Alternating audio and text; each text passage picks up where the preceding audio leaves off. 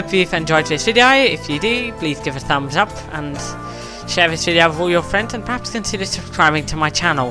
Thank you, and I'll see you next time.